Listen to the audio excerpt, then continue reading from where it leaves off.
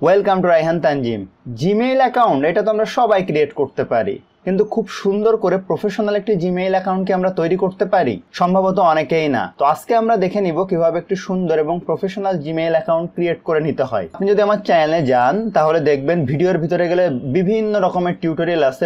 Mainly Gmail related Microsoft Excel Word PowerPoint related আপনার পছন্দ অনুযায়ী আপনি এখান থেকে টিউটোরিয়াল দেখে নিতে পারেন। তো চলুন শুরু করা যাক। নতুন নতুন এবং এক্সাইটিং সব ভিডিও পেতে এখনই চ্যানেলটি এখান থেকে সাবস্ক্রাইব করুন এবং পাশে থাকা বেল আইকনটি ক্লিক করুন এবং অল করে সেভ করে দিন। ওয়েলকাম ব্যাক তো আমাদেরকে প্রথমেই যেটা করতে হবে, যে কোনো একটা ওয়েব ব্রাউজারে যেতে হবে। তো আমি মজিলা ফায়ারফক্সে অন করতেছি মজিলা ফায়ারফক্স ওয়েব ব্রাউজার তো মজিলা ফায়ারফক্স ওপেন করে নেওয়ার পরে আমাদের এখানে লিখতে হবে mail dot Google dot com এটা লেখার পরে আমি যখন ইন্টার দিব, তো mail dot Google dot com লেখার পরে আমাকে একটা ওয়েবসাইটে নিয়ে যাবে, যে accounts dot Google dot com আপনি চাইলে accounts dot Google dot com লিখতে পারেন বা গুগলে গিয়ে সার্চও দিতে পারেন, যে জিমেইল এটা লিখে যদি সার্চ দেন, দেওয়ার পরে যে প্রথমেই যে দেখেন গুগল ডট কম জিমেইল এটার উপরেও যদি আপনি ক্লিক করেন, তাহলেও আপনাকে ওই জায়গায় নিয়ে চলে আসবে। তো এখন যদি আপনার এখানে মেইল অ্যাকাউন্ট থাকে, তাহলে তো আপনি এখান থেকে লগ ইন করতে পারবেন। কিন্তু আমরা যেটা করব ক্রিয়েট অ্যাকাউন্ট এটার উপরে ক্লিক করব এবং বলছে ফর মাই সেলফ অবশ্যই আমার জন্য। তো এখন দেখেন ফার্স্ট নেম লাস্ট নেম দুইটা ইস্যু আছে। তো ফার্স্ট নেম আর লাস্ট নেম কি? ধরুন আপনার নাম তানজিমুল কবির, যেমন আমার নাম মোহাম্মদ তানজিমুল কবির। তো সেক্ষেত্রে আমি কীভাবে লিখব? M D dot T N টান J I M U L M U L Tanjimul last নেমে দিব হচ্ছে কবির। তাহলে একত্রে আমার নাম তানজিমুল কবির দেখিয়ে দিবে। এখন সব থেকে মজার ব্যাপার হচ্ছে এই যে ইউজার নেম অর্থাৎ যে আমার যে জিমেইল নাম, এইটা তৈরি করাই হচ্ছে সব থেকে কঠিন এবং সব থেকে ইম্পর্টেন্ট আপনি যখন কাউকে বলেন যে আমার এই মেইল অ্যাকাউন্ট এইটা, যদি ইমেইল অ্যাকাউন্ট এইরকম বড় হয়ে যায়, তাহলে কিন্তু মানুষের লিখতে অসুবিধা হবে। সে কিন্তু ভুল স্পেলিং করে ফেলবে এবং জিমেইল পাঠাইলে মেইল যখন পাঠাবে, তখন কিন্তু আপনার অ্যাকাউন্টে আসবেও না। তো মেইল অ্যাকাউন্ট এমন হওয়া উচিত যে মোটামুটি ছোট নাম এবং অর্থবহ হওয়া উচিত। অর্থাৎ এখানে একটা প্রফেশনাল ভাব থাকতে হবে। যেমন ধরেন আপনি একটা প্রতিষ্ঠানে জব করেন, ওই প্রতিষ্ঠানের জন্য একটা জিমেইল অ্যাকাউন্ট আপনি ক্রিয়েট করবেন।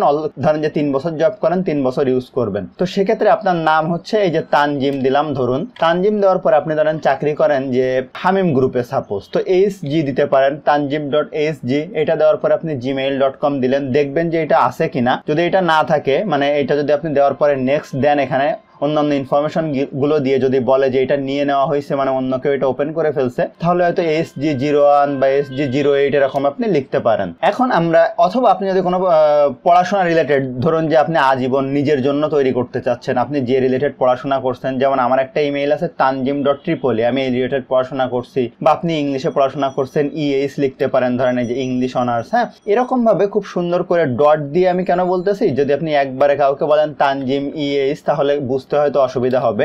ডট দিয়ে দিলে তার জন্য সুবিধা হবে। তো ধরেন আমি হামিম গ্রুপে জব করি, আমি এইচ জি দিলাম। দেওয়ার পরে জিমেইল ডট কম দিয়ে দিলাম। এরপরে পাসওয়ার্ড এইটা অনেক গুরুত্বপূর্ণ একটা ব্যাপার। পাসওয়ার্ড হতে হবে খুবই স্ট্রং আমরা অনেকে মোবাইল নাম্বার ইউজ করি এটা আসলে খুবই ভুল প্রয়োগ। আবার অনেকে এমন হয় যে এক, দুই, তিন, চার, এইটা দিয়ে এইটা হবে না। দেখেন গুগল কি বলতেছে?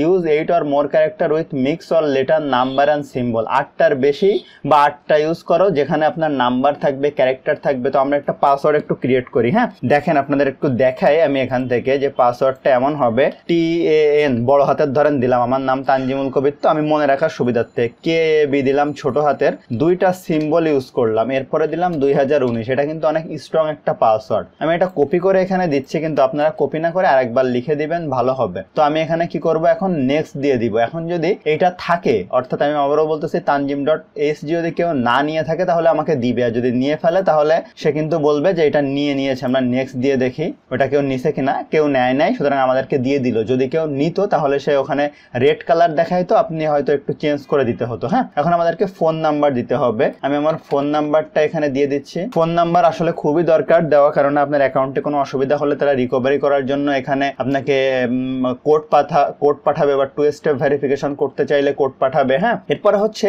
নাম্বারটা দেওয়ার পরে এখন হচ্ছে আমার রিকভারি ইমেইল একটা রিকভারি ইমেইল অ্যাড্রেস দিলে যেটা হয়, আপনার কোনো কারণে মেইলে অসুবিধা অসুবিধা হলে রিকভারি করার জন্য, অর্থাৎ মেইলটা আবার ফিরে পাওয়ার জন্য রিকভারি ইমেইলের দরকার হয়। আপনি আপনার কোনো মেইল থাকলে এখানে দিয়ে দিবেন, অথবা যদি না থাকে, বন্ধুর কোনো মেইল দিতে পারেন বা আপনি এটা স্কিপও করতে পারেন। আমরা যদি স্কিপ করি, তাহলে কি অবস্থা হয় দেখি।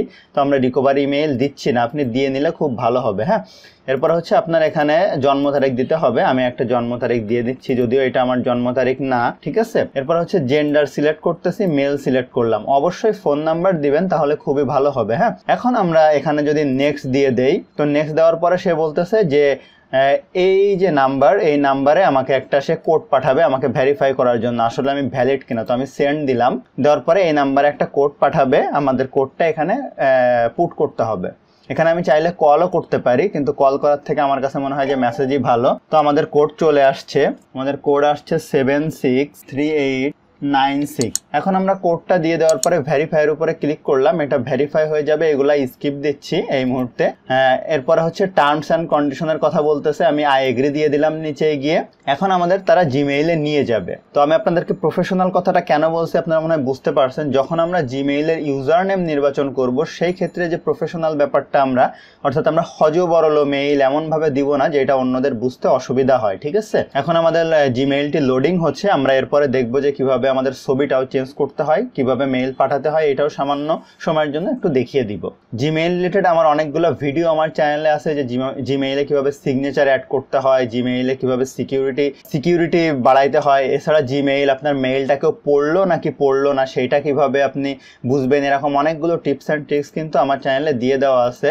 তো এখন দেখেন, এই যে আমাদের জিমেইল প্ল্যাটফর্ম আমি যদি যে কম্পোজের উপরে ক্লিক করি কম্পোজের উপরে ক্লিক করলে আমি এখান থেকে একটা মেইল টুতে মেইল দিয়ে সাবজেক্ট লিখে এখান থেকে মেইল পাঠাতে পারব। তো এই মেইল ওপেন হওয়ার পরে আপনি যদি চান যে আপনার ফটোটা চেঞ্জ করবেন, সেক্ষেত্রে এই যে কোনায় এম টাইপের একটা চিহ্ন দেখাচ্ছে, এখানে চাপ দেওয়ার পরে দেখেন যে চেঞ্জের উপরে ক্লিক করবেন। করার পরে select photo from your computer এই যে আপলোড ফটো তো আমি আমার কম্পিউটার থেকে যে কোনো একটা ছবি এখান থেকে সিলেক্ট করে দিব। ছবিটা এখন আপলোড হচ্ছে।